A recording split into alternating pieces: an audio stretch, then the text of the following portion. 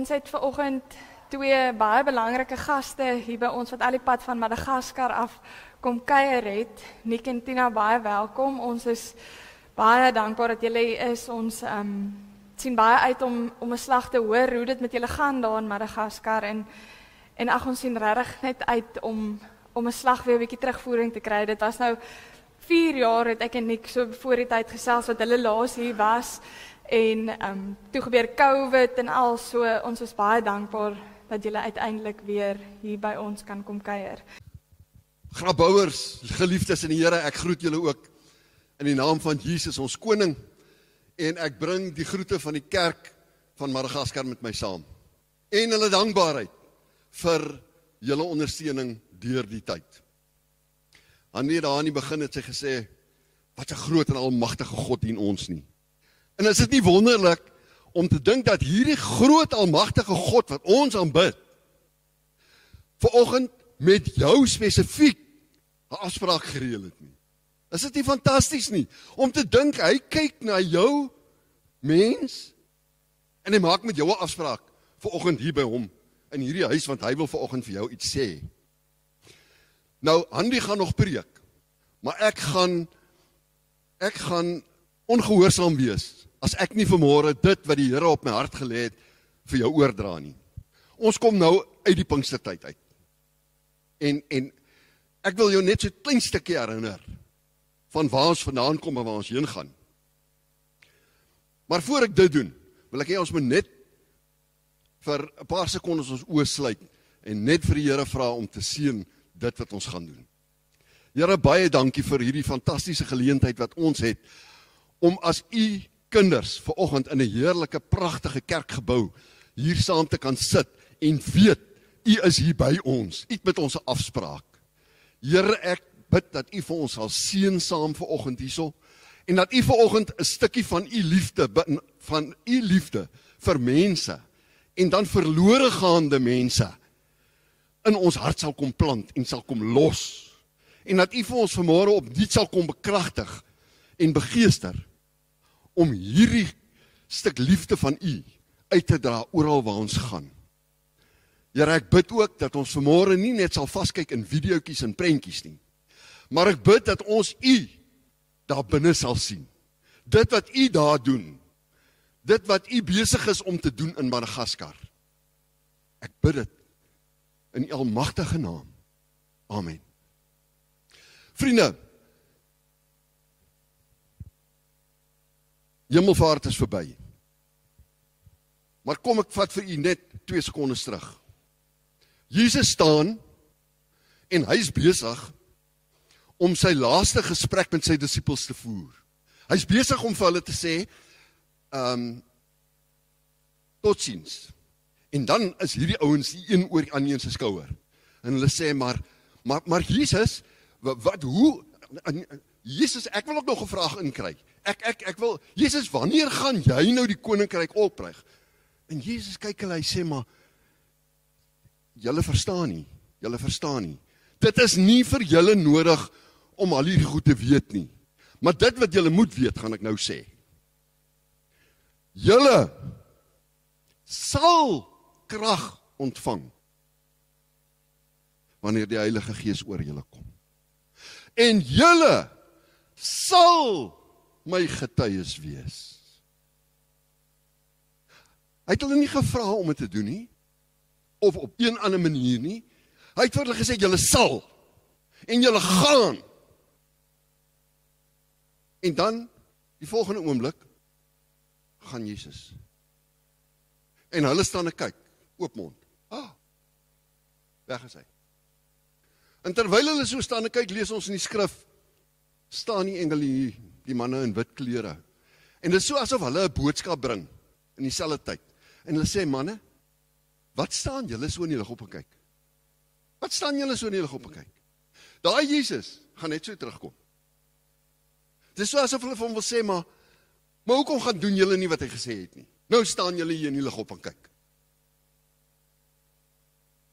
Dis 'n boodskap. En nou is ons mos almal in hierdie tyd met kragonderbrekings besig. Eskom se load shedding en al die goeters wat gebeur. En en en en so kom ons agter dat as die krag af is, nê, dan is ons mos nou half lam. Ons is nou half stikkend. Gisteroggend hoeka. Toe gaan sit ek nou die ketel aan, maar die krag is af. Dis dis een van daai goed. Die ouens wat van die huis af werk sal weet, wifi. Jy jy weet nie wat om te doen nie. Jy's die krag is af. Eers kom met daai switch afgesit, die plak uitgetrek, klaar. Nou Nou kyk ons na ander krag. Ons kyk na na na na die bergbrande hierso. Hier in Grabouwse berge wanneer dit begin brand. Vriende, julle het dit baie gesien. Daai vuurtonge wat so vir kilometers in die lug opgaan. En die mense moet maar net staan en kyk, ons kan niks doen nie. Dis 'n ontsaglike krag wat daar verbygaan. Ons kan niks daaraan doen nie. Ons het in Madagaskar begin van die jaar kry ons 'n sikloon. Ons het hom mooi dopgehou soos wat hy beweeg het. En die oomblik toe daai ding die land vat. Toe hardloop die winde van 240 km/h deur die dorp. En die reën in meters stort neer. En 'n dorp is weg. Binne 'n paar uur. Daar's niks oor nie. Goed waaraan mense jare lank gewerk het, is weg. Een van my dominees daai 10 jaar aan sy kerk gebou. Die kerk was amper klaar. Hy het net 'n paar dakplate gekort. Hy moet voorbegin. Hy het niks.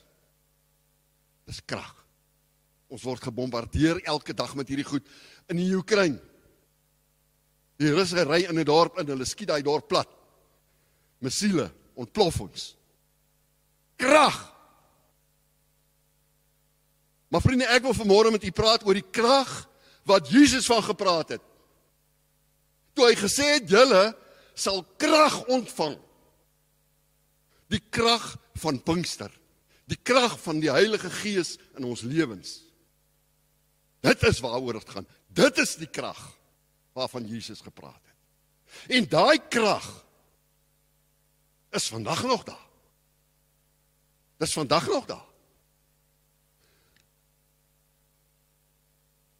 As ons God toelaat om deur ons lewens te werk deur sy Heilige Gees, dan kan ons geloofshelde wees soos die geloofshelde van die Bybel. En ek wil nou vandag vir u 'n stuk getuienis kom bring uit Madagaskar. Hoe God werk. En en verstaan my mooi. Ek sê weer hoe God werk. Ek sê dit nie vir u en ek wys dit nie vir u om myself goed te laat lyk nie. 3 jaar gelede. Toe hardloop 'n ou voor my kar in. En ek ry hom raak. Hy's nie dodelik ernstig beseer nie. Dit is net voor Kersfees. Die saak is hangende tot vroeg in Januarie. Januarie maand verskynlik in die hof.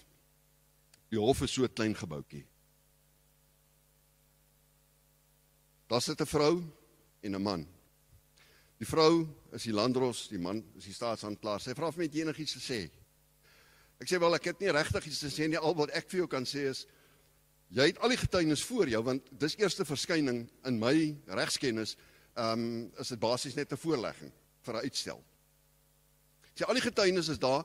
Ek het ehm um, daarby 'n video wat die hele ding ehm um, afgeneem het van my dashcam en ehm um, dis dit. Ek is ek kan maar net vir jou sê ek is onskuldig. Sy sê vir my wag buitekant. Ek sit 20 minute buitekant kom die polisieman en kom roep my. Ek kom staan weer daar. Sy sê vir my ek het besluit om jou gevangenes toe te stuur um onbepaald vir verdere ondersoek. Ek word gestrip van alles wat ek het. Ek word geboei, ek word uitgevat soos 'n krimineel. En ek beland in die tronk. As ons nou daai prison video net laat ek, ek wil vir u net 'n kykie gee hoe lyk dit in Madagaskar se tronk.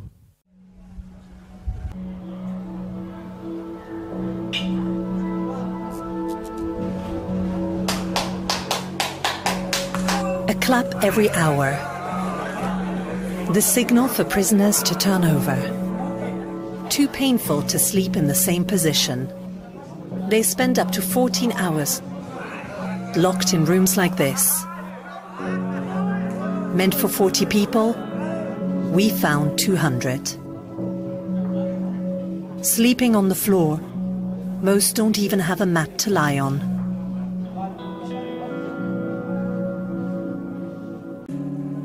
From the lack of food, the lack of basic hygiene, to the lack of healthcare, the situation is dire. Hierdie video is gemaak deur Amnesty Internasionaal. Dit is 'n langer video, ek het net 'n paar grepe uitgehaal.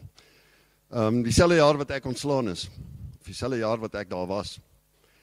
Ehm um,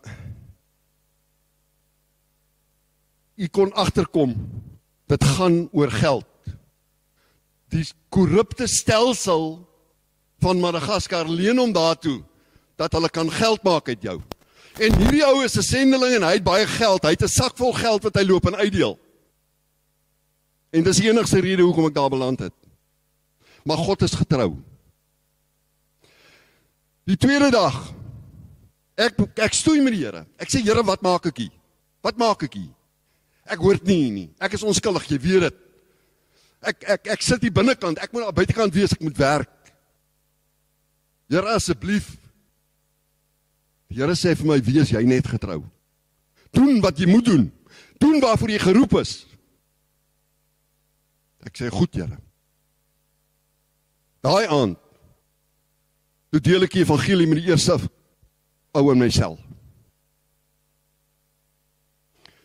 Twee dae later kom een van die bewaarders en hy kom al my uit die sel uit. Hy sê vir my kom stap gou saam met my. Ek dink o, jene, hier's moeilikheid. Hy vat my daar so agter in so 'n klein kamertjie en hy sê vir my, al sy selfoon uit. Hy sê hierso, hier's iemand wat met jou wil praat. Ek antwoord, ek raak bly ek dink is my vrou. Dis een van my sendelinge in die bos. Sy bid vir my, sy bemoedig my. Sy sê vir my jy's nie alleen nie. Moenie worry nie. Alles sal regkom. My moraal is laag. Maar ek weet mense bid reg oor die wêreld. Ek sê vir haar luister, hoe het jy dit reg gekry om by my uit te kom? Sy sê daai bewaarder wat langs jou staan is my seun. God het hom al lank al daar neergesit. Hy het geweet Die sewende dag.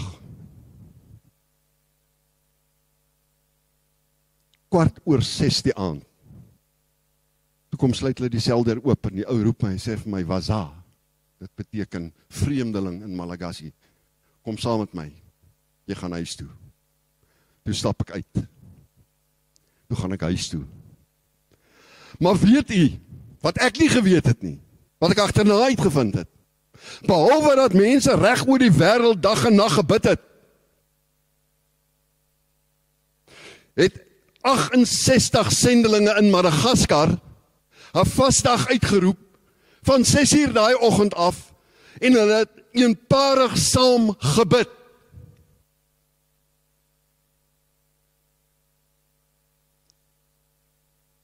God het gehoor.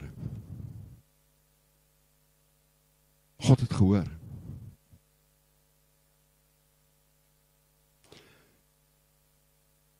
Toe ek by die seldeur uitstap om huis toe te gaan. Prys die Here daarvoor. Toe's daar 'n selgroep van 11 mense in die sel.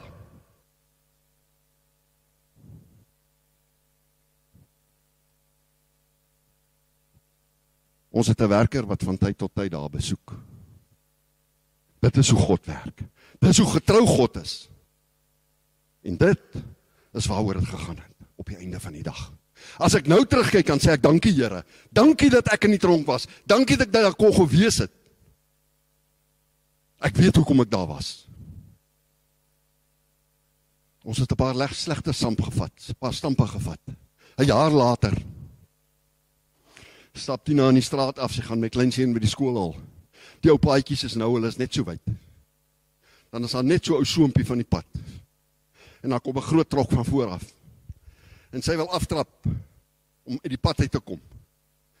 En sy het haar misgis. Sy val, sy breek haar elmboog. Sy beland in die hospitaal. Hospitalisasie in Madagaskar bestaan nie. mediese hulp is baie baie swak. Ek kry al by naas by die naaste hospitaal. Daar is gelukkig 'n dokter. Hy sê vir my my vriend nadat hy, nadat hulle ekstra al geneem het, hy sê hierdie arm is bitter sleg gebreek. Hy's in die elmboog. Ek weet nie, maar ons sal dit opereer. Nou wys hy vir my sê ons moet hier 'n skroef en daar 'n pen en hier 'n plaat en dit en dit en dit. Ek sê nou, dan moet ons doen wat ons moet doen. Hy sê dis goed so, maar is dink jy sy's emosioneel en geestelik sterk genoeg om hierdie ding te kan hanteer? Ek sê ja. Hy sê, "Hoe kan jy vir my vir my sê ja?" Ek sê, "Ja, sy's 'n kind van die Here. Sy kan." Daar's niks onmoontlik nie. Hy sê, "Goed. Ons kan môreoggend teater toe gaan." Maar hier's 'n lys van goed wat ek gaan nodig hê wat jy eers moet gaan koop. Ek kan nou nie opereer as ek nie iets het om nie te werk nie. Ek ry die hele nag, die hele stad vol om medikasie te soek, narkose te soek, pype, watte, syringes, you name it. Twee lyste. Intussen tyd kyk iemand na haar by die hospitaal tot ek terug kan kom. Want ek is die nurse. Ek moet vir haar kos gee. Ek moet haar bad. Die volgende oggend het hulle aan die teater in. En ek dink, "Ag, nou gaan ek 'n breek kry. Ek kan nou 'n lekker stortbad gaan vat by die huis. Ek het 'n lang trek gekom." Die dokter, ek sê vir hom, "Hoe lank dink jy gaan jy besig wees? Ek wil goue stort gevat." Hy sê, "Wat? Jy gaan nêrens heen nie, jy sit net hier." Voor die teater se heer. Hy sê wat dink jy wat gaan gebeur as ek iets nodig kry hier binne en jy sien hier nie? Dan moet jy dit gaan haal. 'n Uur en 'n half voor sy teater uitkom. Toe kom iemand uitgehardloop met 'n briefie. Sy dokter sê jy moet hierdie goed dringend gaan kry, dringend. Ek het geen klou wat dit is nie. Ek vat net die briefie en ek jaag na die naaste apteek toe. Gelukkig God is getrou. Ek kry en ek ry terug agterna uitgevind het was narkose. Hulle het uit narkose uitgehardloop. Ons gaan huis toe. Twee dae later, ek sê dit help nie sy lê nie. Sy's beter af by die huis. Hulle trek die dreinpyp uit, ons gaan huis toe. 'n Week later toets sy infeksie in haar arm. Haar arm het gelyk soos my knie. Vir meer as 'n week sit sy met 'n koors van 40 plus. Die dokter sê ons ons kan nie meer anti-inflammatoriese middels gee nie. Ons kan nie meer antibiotikas gee nie. Ek weet nie meer wat gaan ons maak nie. Haar niere is, is is op die punt om in te gee. Die wêreld bid, grabou bid. Die hele Suid-Afrika, die hele Europa, mense reg oor die wêreld is op hulle knieë. Ek sê Here, ek vertrou U hiervoor. Ek sit op 'n stoeltjie voor die bed. Na week 2:00 die oggend. Ek het seker maar 'n knik gevat. Maak ek my oë oop en ek vat die spons waarmee ek haar bietjie afkoel. En toe ek haar hare so wegvee uit haar gesig uit. Toe voel ek sy is meer warm nie. Kyk sy op toe sê sy vir my ek is okay. God is getrou. Jy kan hom vertrou. Jy mag hom vertrou. Hy beloof dit in sy woord. Dis 'n belofte wat bly staan tot in ewigheid. Vertrou hom vir alles. Vir die van u vir die van u wat wat nog twyfel. Hier staan 'n lewende getuie. Daar sit 'n lewende getuie van God se getrouheid. Oor 23 jaar in Madagaskar kan ek dit getuig. Ek wil klaarmaak deur vir u te herinner vir die wat nie is en vir die wat al vergeet het waarmee ons besig is in Madagaskar. The island that ruled is ruled by spirits. Dis evil spirits. Dis nie gewone spirits nie. Spirits van die voorvadergeeste. Ons bedryf 'n radiostasie, ons bedryf 'n kerk. Ons werk onder die onbereikte mense. Ons span is 72 mense sterk. Dis klink nogal Bybels. 69 aktief 3 management. Daar's al die onbereikte groepe onder wie ons werk. Daar's 13 van hulle op die oomblik. Elkeen het sy eie taal, elkeen het sy eie kultuur. Vir 'n jaar en vir die begin van hierdie jaar wat hierdie twee uh, 69 ouens gedoen het. People evangelize, dis mense wat geëvangeliseer is. 260042. Mense wat hulle lewe vir Jesus gegee het. 158100 in 2021. Hierdie jaar sover 64266. Mense wat ons gedoop het verlede jaar 2410 hierdie jaar tot nou toe 903. Um geestelike byeenkomste wat ons gehou het verlede jaar 7244 hierdie jaar tot nou toe 3491. Fellowship locations dis klein groepe ensovoorts. Verlede jaar het ons 4439 in totaal gehad en na hierdie jaar het 1682 bygekom sover. Mense onder opleiding evangeliste wat ons besig is om op te lei. Verlede jaar het ons 6739 opgelei, hierdie jaar tot dusver 2178.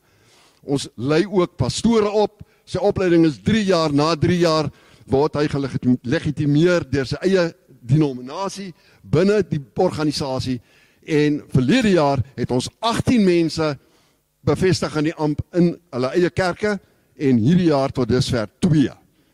Ons het op die oomblik 431 sustainable churches, selfonderhoudende kerke. daarmee bedoel ek kerke wat funksioneer soos grabou gemeente. Weliswaar finansiëel nie so sterk nie. Weliswaar miskien nie so pragtige gebou nie.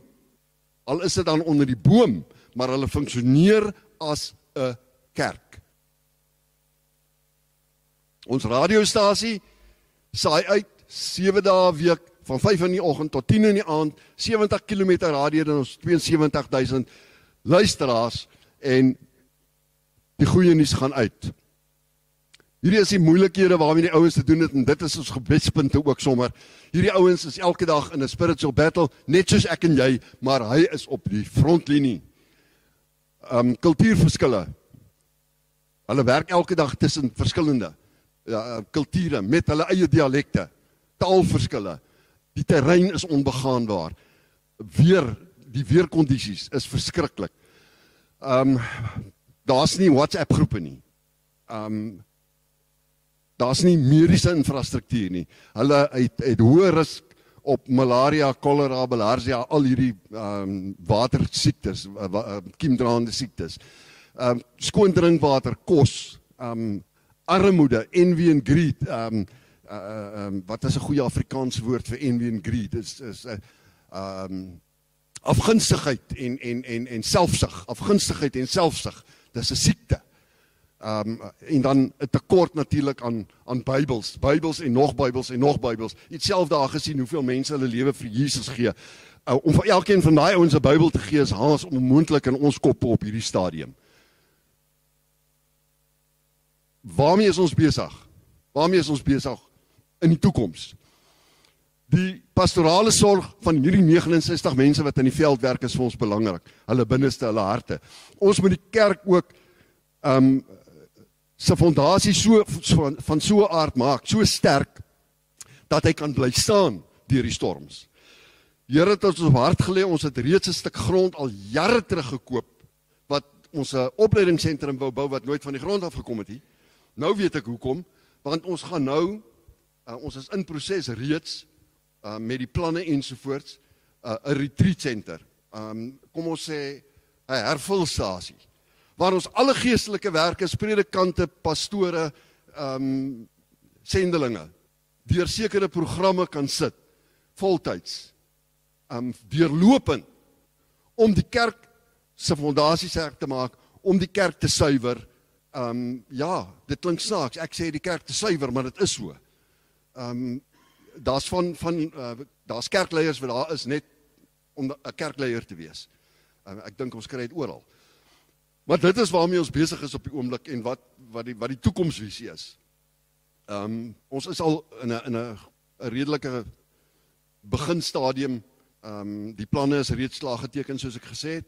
Ehm um, ek as die Here wil ehm um, en alles loop goed en ek kom terug in Madagaskar gaan ons begin om die terrein ehm um, 'n muur rondom te bou um, en dan daarna met die bouwerk begin. Ons vertrou die Here vir elke stap wat ons neem. En ek kan maar net weer vanmôre vir jou sê, vertrou die Here vir elke ding. En nou is my vraag vanoggend vir jou en daarmee wil ek afsluit. Laat jy God toe om met sy Heilige Gees deur jou lewe te werk. Of is daar load shedding in jou lewe? Is jou plak uitgetrek? Is jou switch af?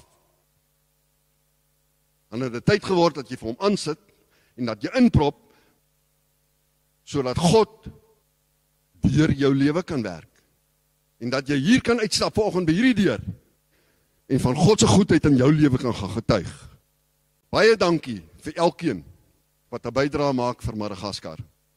Moenie op hom vir ons te bid nie, moenie op hom te bid vir daai klomp sendelinge daar nie. Ons vertrou en ons glo dat die Here vir elkeen van julle sal seën.